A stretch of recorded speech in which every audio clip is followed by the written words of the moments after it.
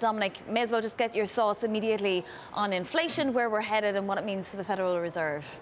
Uh, well, inflation is going up uh, uh, slowly. Uh, certainly has accelerated in the recent months, which is good news, I think, for from the Fed's perspective. It was uh, worryingly low uh, last year, and obviously the concern was how much lower was it you know, potentially going to get. But some of those special factors have fallen out, and some of the things that should have been happening are happenings, like goods inflation is strengthening.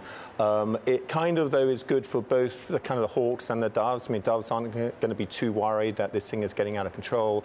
Uh, the Hawks uh, may still be worried, but today's data didn't really make them more worried than they would have been.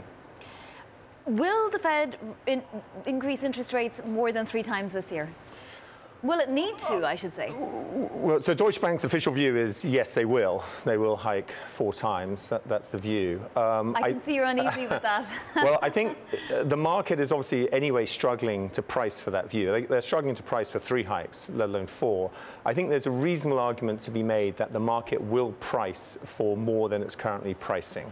Uh, uh, that the problem, though, is that as we get, let's call it a Fed acceleration priced by the market, uh, one of the issues that's happening is uh, the, the interest rate structure is becoming less supportive to risk assets.